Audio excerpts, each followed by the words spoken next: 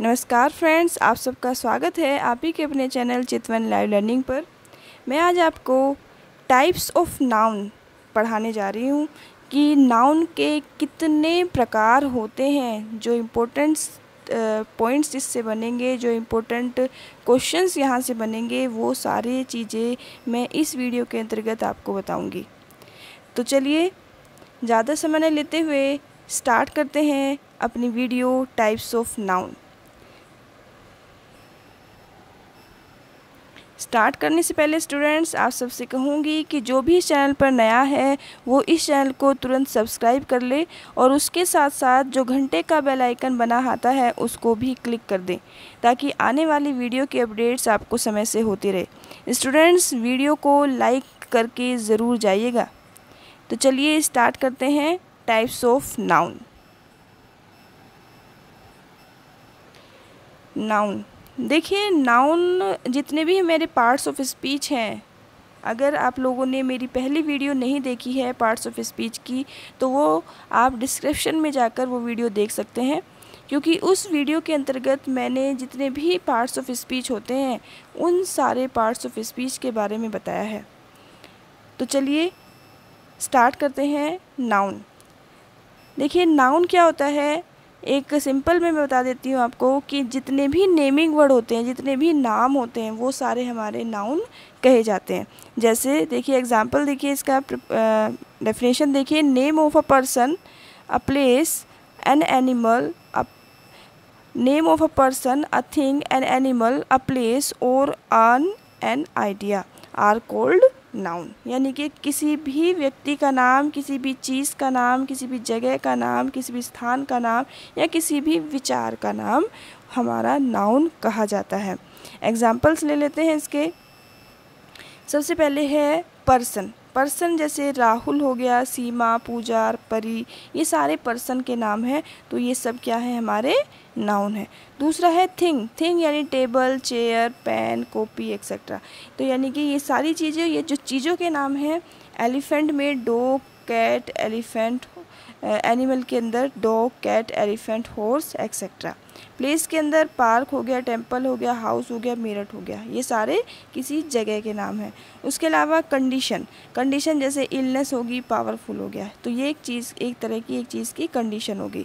उसके बाद है एक्शन एक्शन में आपका आ जाता है, जैसे रन है कैट रन है ईट है वोक है लिसन है. ये सारे हमारे एक्शन में आ जाते हैं. देखिए टाइप्स ऑफ़ नाउन यानी कि नाउन के कितने प्रकार होते हैं। देखिए नाउन जो है, मुख्यतः दो प्रकार का होता है। पहला होता है काउंटेबल नाउन और दूसरा होता है अनकाउंटेबल नाउन काउंटेबल नाउन उन नाउन को कहा जाता है जिन्हें गणनीय संज्ञा। देखिए, जिन्हें गणनीय संज्ञा, यानी कि जिसकी गणना की जा सकती है, जिसे हम काउंट कर सकते हैं। और अनकाउंटेबल नाउन जिसकी गणना नहीं की जा सकती, यानी कि जिसे हम काउंट नहीं कर सकते। अब देख, जान लेते हैं कि कौन कौन से वो नाउन हैं जिन्हें हम काउंट कर सकते हैं और कौन कौन से वो हैं जिन्हें हम काउंट नहीं कर सकते। देखिए, ये है हमारा काउंटेबल नाउन काउंटेबल नाउन आप देख ही रहे होंगे स्क्रीन पर कि काउंटेबल नाउन हमारे तीन काउंटेबल नाउन होते हैं। पहला है हमारा प्रॉपर नाउन दूसरा है हमारा कॉमन नाउन और तीसरा है हमारा कलेक्टिव नाउन ठीक है? ये तीन हमारे काउंटेबल नाउन होते हैं और अनकाउंटेबल नाउन हमारे कौन से होते हैं? देखिए, ये दो हमारे अनकाउंटेबल नाउन होते हैं मटेरियल नाउन और एब्स्ट्रैक्ट नाउन यानी कि टोटल जो नाउन के टाइप्स होते हैं, वो पाँच तरह के नाउन होते हैं। जैसे अभी मैंने बताया, तीन आपके काउंटेबल नाउन होते हैं और दो आपके अनकाउंटेबल नाउन होते हैं। काउंटेबल कौन से होंगे? प्रॉपर कॉमन कलेक्टिव ये काउंटेबल हो जाते हैं और जो अनकाउंटेबल है वो मटेरियल और एब्स्ट्रैक्ट नाउन जो है वो हमारे अनकाउंटेबल नाउन होते हैं। ठीक है प्रॉपर नाउन को हिंदी में क्या कहते हैं? अगर आप हिंदी पढ़ते हैं तो उससे भी आप समझ सकते हैं इजीली कनेक्ट करते हुए पढ़ेंगे तो दोनों सब्जेक्ट की तैयारी एक साथ हो जाती है। जैसे प्रॉपर को व्यक्तिवाचक संज्ञा कॉमन को जाति कलेक्टिव को समूह मटेरियल को द्रव्य, यानी कि पदार्थवाचक एब्स्ट्रैक्ट को भाववाचक संज्ञा हम कहते हैं। चलिए नेक्स्ट पेज पर चलते हैं। अब जान लेते हैं कि हमारा काउंटेबल नाउन क्या होता है। ठीक है काउंटेबल नाउन क्या होता है? जैसे कि अभी मैंने ऊपर बता दिया आपको कि जिन जिन चीज़ों को हम काउंट कर सकते हैं, जो भी काउंट की जा सकती है, जैसे किसी भी लड़, कोई लड़कियाँ, लड़की का नाम है गर्ल्स है क्लास है एक्सेट्रा है इन सबको हम काउंट कर सकते हैं, ठीक है? तो काउंटेबल नाउन के अंदर आ जाता है हमारा प्रॉपर नाउन प्रॉपर नाउन क्या होता है कि the noun the noun which denotes a person which denotes a proper person place और थिंग ठीक है? यानी कि वो नाउन जो किसी पर्टिकुलर पर्सन प्लेस या थिंक को डिनोट करता है, उसे प्रॉपर नाउन कहते हैं। प्रॉपर पर्सन प्लेस थिंक के जैसे कि प्रॉपर पर्सन में किसी भी प्रॉपर व्यक्ति का नाम हो गया, विजय हो, अजय हो, या फिर नीलू हो, कोई भी नाम हो सकता है। प्रॉपर प्लेस में किसी पर्टिकुलर प्लेस का नाम होगा, मुंबई हो, कोलकाता हो, दिल्ली हो, बरेली हो, कोई भी नाम हो सकता है। प्रॉपर थिंक के अंदर कोई भी चीज़ हो सकती है, जैसे रामायण हो गया, गीता हो गई, बाइबल हो गया या फिर कोई भी प्रॉपर चीज़, जैसे किसी के फ़ैन का नाम अगर आ गया, उषा का फ़ैन हो गया, ठीक है ना?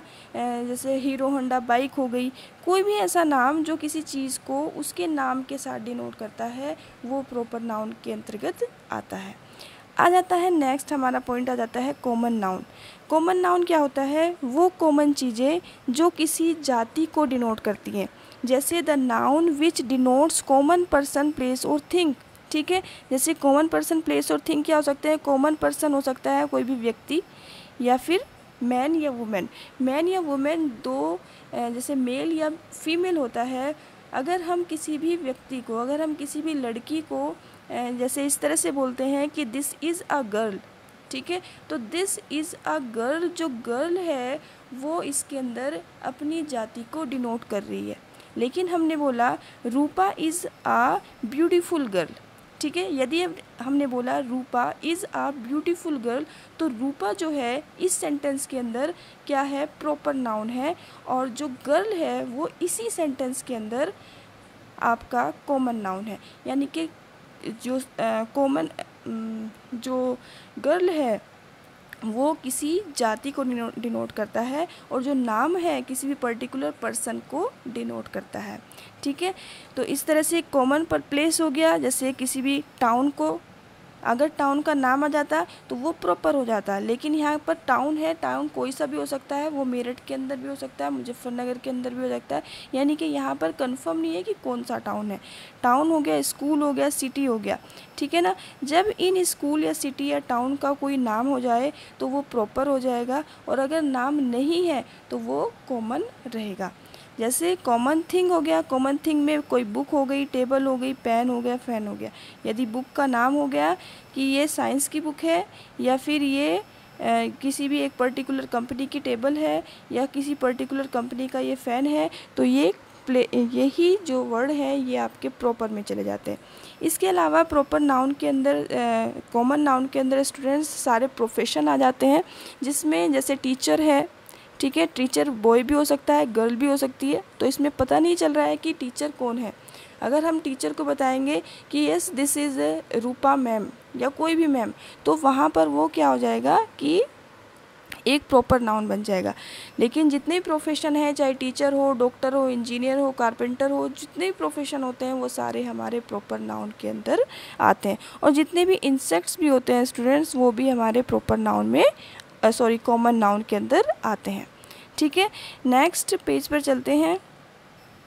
नेक्स्ट पेज पर आ जाता है हमारा कलेक्टिव नाउन कलेक्टिव नाउन क्या होता है? The noun which denotes a group of person और other creature and collection of thing ठीक है? यानी कि कलेक्शन ऑफ़ थिंग यानी कि यहाँ पर ग्रुप में चीज़ें हम देखेंगे। जैसे group of person group of person में देखिए अ टीम ऑफ़ प्लेयर्स ठीक है?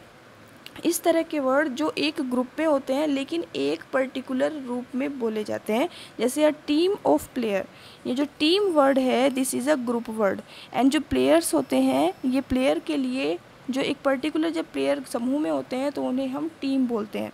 उसी तरह से आ क्लास ऑफ़ स्टूडेंट जब स्टूडेंट्स जो हैं, वो क्लास में होते हैं तो उनको एक साथ जब हम बोलते हैं तो वो क्लास बोली जाती है।